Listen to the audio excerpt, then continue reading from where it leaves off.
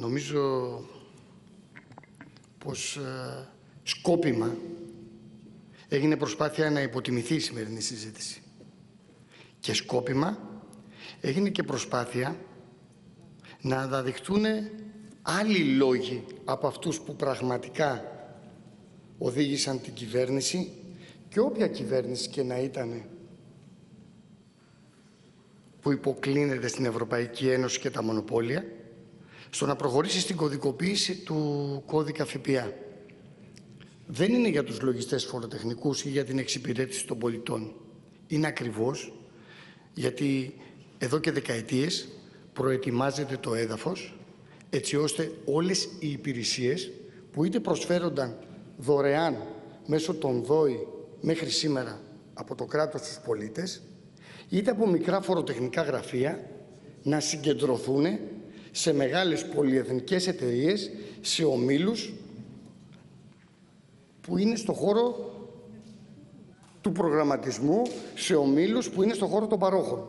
Και επειδή αυτοί οι όμιλοι θέλουν να πάρουν έτοιμη την κατάσταση στα χέρια τους χωρίς να έχουν να αντιμετωπίσουν δυσκολίες και δυστοπίες, γι' αυτό και ακριβώς από τη μία έχετε βάλει τους μικρούς αυτοαπασχολούμενους λογιστές φοροτεχνικούς εδώ και δεκαετίες και πασχίζουν σχεδόν αμυστή να ψηφιοποιήσουν όλο το σύστημά σας και το δεύτερο θέλετε να παραδώσετε σιγά σιγά τα ενία, τη διαχείριση όλου του φορολογικού συστήματος σε αυτά τα μεγάλα μονοπόλια.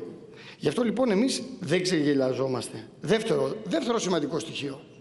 Το αναδείξαμε και στην Επιτροπή, το βάλαμε και στην πρωτολογία μας. Η δικτατορία του κεφαλαίου, ο ίδιος ο καπιταλισμός, είναι που επιβάλλει να εξεγελιέται ο ελληνικός λαός και μέσω της φορολογίας να του παίρνετε ακόμα και τα λίγα ψίχουλα που του δίνετε.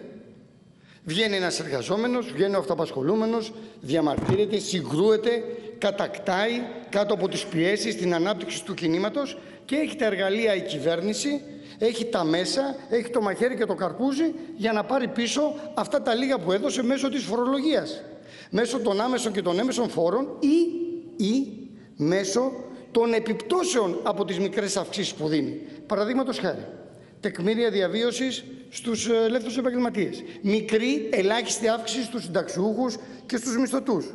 Κόπηκαν τα επιδόματα παιδιού, να χρήματα που βρήκε η κυβέρνηση για να κάνει κοινωνική πολιτική σε λίγες εβδομάδες θα συζητήσουμε σε αυτή την αίθουσα τις δίθεν παροχές που πάλι από το λαό τις πήρατε. Κόπηκαν τα επιδόματα ενοικίου, να πάλι χρήματα που βρήκε η κυβέρνηση για να κάνει κοινωνική πολιτική. Κόπηκαν τα κοινωνικά τιμολόγια, να χρήματα πάλι που βρήκε η κυβέρνηση. Κόπηκαν όλες εκείνες οι παροχές που δινόντουσαν μέχρι τώρα και που άλλες έρχεστε και προετοιμάστε να τις περικόψετε. Γιατί ξέρετε, στον καπιταλισμό ένα βήμα κάνει μπροστά οποιαδήποτε κυβέρνηση διαχειρίζεται τα συμφέροντα του κεφαλαίου, ένα βήμα πίσω. Μια ακολουθεί μια σφιχτή δημοσιονομική πολιτική, μια επεκτατική πολιτική. Τώρα λοιπόν ήρθε η ώρα για να περικόψετε ακόμα και τα ελάχιστα επιδόματα και να βάλετε κόφτες. Αλλά εμείς σας λέμε ως ΚΚΕ να μην τολμήσετε να το κάνετε. Όσον αφορά, γιατί θα μας βρείτε απέναντί σας, όσον αφορά, γιατί ακούγονται διάφορα σε αυτή την αίθουσα. Η μεγάλη πλειοψηφία των νόμων, των διατάξεων, είναι μεταφράσεις επιταγών, εντολών, που έχουν οδηγιών, που έχουν ψηφιστεί σχεδόν από όλα τα κόμματα στην Ευρωπαϊκή Ένωση και έρχονται μεταφρασμένα εδώ για να τα εφαρμόσουν οι εκάστοτε κυβερνήσεις. Είτε είναι Νέα Δημοκρατία, είτε ήταν Πασόκ, είτε ήταν μνημονιακές. Και για να μην έχουμε αυταπάτες, η Τρόικα την ονομάσαν θεσμούς. Σήμερα είναι το Ταμείο Ανάκαψης. Σήμερα επιβάλλουν με τον έναν άλλο τρόπο τα θέλω του κεφαλαίου των ομίλων και των πολυεθνικών στον ελληνικό λαό. Εδώ τους λέμε θα μας βρούνε απέναντί τους. Ένα ζήτημα ακόμα. Για μας η πραγματική αντιπολίτευση γίνεται στους δρόμους του αγώνα, της ρήξης και της ανατροπής. Γίνεται στα νοσοκομεία που διεκδικούν υλικοτεχνική υποδρομή γιατρούς και νοσηλευτές. Γίνονται σήμερα το βράδυ έξω από το Δημαρχείο της Ελευσίνας όπου παλεύει ο λαός της Ελευσίνας και της Δυτικής Αττικής για να μην υλοποιηθεί αυτό το έργο έκτρωμα που βάζει σε κίνδυνο τις ζωές όλων των κατοίκων και των εργαζομένων στη Δυτική Αττική των υπόγειων αγωγών όπου από πάνω θα περνάει ένα τρένο και από κάτω η αγωγή. Από πάνω λοιπόν θα είναι το, το σπίρτο και από κάτω το σπιρτόκουτο. Και όπως είχαμε διαρροή προπανίου πρόσφατα στα δηληστήρια της Ελευσίνας και φωτιά στο τρένο Κηφισιάς Πειραιά, αυτό λοιπόν χώρια την τεράστια κυκλοφοριακή συμφόρηση που θα επιφέρει στη Δυτική Αττική, γιατί δεν γίνεται με τις σύγχρονες μεθόδους, υποδομές και μέτρα οποιοδήποτε έργο, θα βάλει σε κίνδυνο και τις ζωές τους αγωνιστική ε, αντιπολίτευση γίνεται από τους μαθητές που είναι κάθε μέρα στους δρόμους και αγωνίζονται για την κατάργηση του ΦΠΑ στα τρόφιμα και στα κηλικεία. Γίνεται από τις καταλήψεις που βρίσκονται σήμερα πολλά σχολιά, ολοκληρώνω σε όλη την Αττική και στη Δυτική Αττική, που βλέπουν ότι έχουν σχεδόν τους μισούς δασκάλους και καθηγητές.